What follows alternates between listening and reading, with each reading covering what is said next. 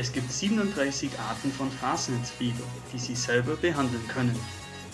Für alle gibt es die Lumpenkapelle Eintracht.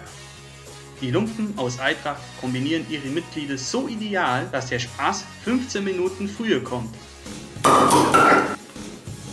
Genau auf den Punkt. Lumpenkapelle Eintracht. Auf den Punkt gegen Fasnitzfieber. Zu Risiken und Nebenwirkungen besuchen Sie die Homepage oder fragen unsere Orgas oder musikalischen Leiter.